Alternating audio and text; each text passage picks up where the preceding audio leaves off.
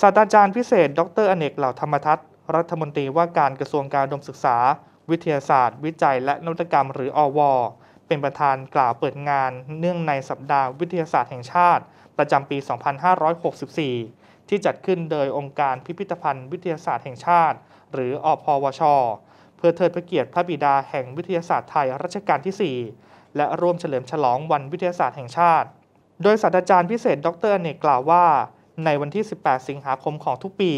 เป็นวันวิทยาศาสตร์แห่งชาติ ซึ่งมีความสำคัญต่อวงการวิทยาศาสตร์ ดาราศาสตร์ และการศึกษาของไทย เนื่องจากเป็นวันที่พระบาทสมเด็จพระปรเมนทรรามาธิบดีศรีสินมหามงกุฎพระจอมเกล้าเจ้าอยู่หัว พระสยามเทวมหามกุฏวิทยามหาราชรัชกาลที่ 4 ได้ทรงแสดงพระปีชาสามารถ ด้านวิทยาศาสตร์ ในการคำนวณการเกิดสุริยุปราคา ณตำบลว่าก่อ อำเภอเมืองจังหวัดประจวบคีรีขันธ์เมื่อวันที่ 18 สิงหาคม พุทธศักราช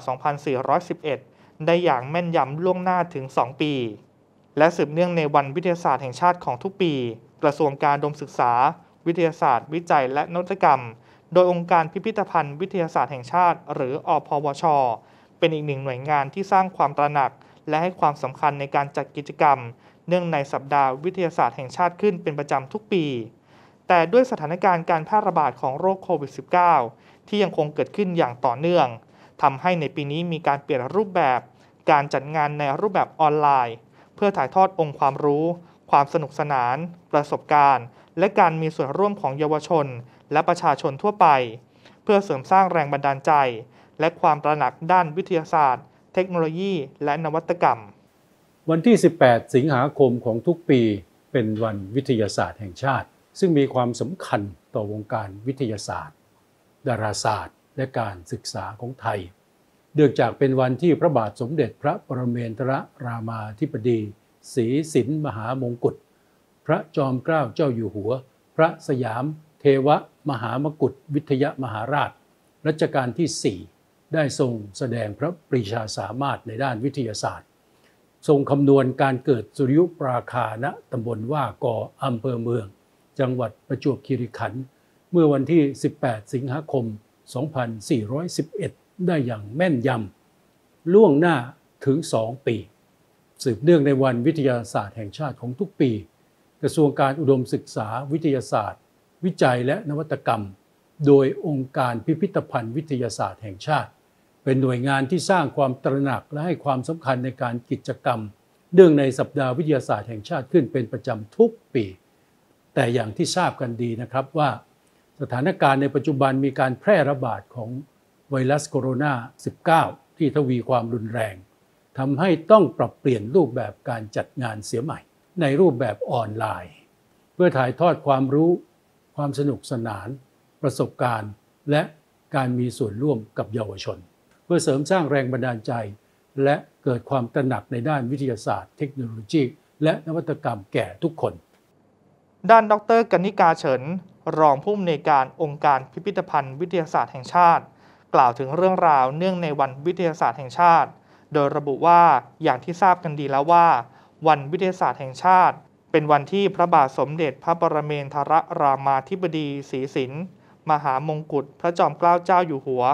พระสยามเทวมหามกุฏวิทยมหาราชรัชกาลที่ 4 ได้ทรงแสดงพระปรีชาสามารถ ด้านวิทยาศาสตร์ในการคำนวณการเกิดสุริยุปราคา ณตำบลว่ากออำเภอเมืองจังหวัดประจวบคีรีขันธ์ได้อย่างแม่นยำล่วงหน้าถึง 2 ปี จากเหตุการณ์ในครั้งนั้นนำมาซึ่งการนำความรู้ทางด้านวิทยาศาสตร์ และการทูตมาเป็นเครื่องมือสำคัญ ในการแสดงถึงความเป็นอารยะของสยามประเทศทำให้มหาอำนาจตะวันตก อย่างอังกฤษ ฝรั่งเศสและอเมริกา ได้ตระหนักและยอมรับในความเป็นเอกราชของประเทศ นับตั้งแต่นั้นเป็นต้นมาทำให้สยามประเทศเกิดการเรียนรู้ทางด้านวิทยาศาสตร์มาจนถึงปัจจุบัน พวกเราคงได้รับทราบเรื่องราวเหตุการณ์สำคัญทางวิทยาศาสตร์นะคะซึ่งเป็นประวัติศาสตร์ที่สำคัญของประเทศก็คือการเกิดสุริยุปราคาที่ว่ากอนะคะในวันที่ 18 สิงหาคม 2511 นะคะซึ่งเราก็ได้ได้รับทราบถึงพระอัจฉริยภาพของพระบาทสมเด็จพระจอมเกล้าเจ้าอยู่หัวนะคะรัชกาลที่ 4 ซึ่งทรงสนพระทัยในด้านวิทยาศาสตร์ ด้านดาราศาสตร์นะคะแล้วก็ทรงเรียนรู้จากตำราของทั้งทางตะวันตกทั้งทางอินเดียนะคะจนสามารถทรงคำนวณสุริยุปราคาได้อย่างแม่นยำแล้วก็ล่วงหน้าถึง 2 ปีก่อน เหตุการณ์นั้นนะคะ แล้วก็ได้ทรงมีกุศโลบายทางการทูตนะคะ ในการนำคณะทูตานุทูตไป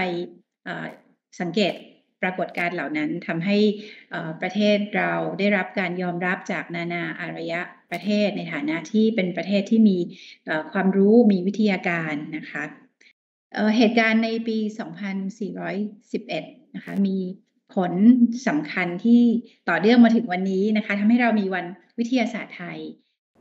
สำหรับกิจกรรมเนื่องในสัปดาห์วิทยาศาสตร์แห่งชาติประจำปี 2564 อพวช ยังคงจัดตลอดทั้งเดือนสิงหาคม ผ่านช่องทางสื่อสารของอพวช ได้แก่ Facebook NSM Thailand เว็บไซต์ www.nsm.or.th YouTube Channel NSM Thailand และแฟนเพจ Facebook พิพิธภัณฑ์และแหล่งเรียนรู้ต่างๆ ของอพวช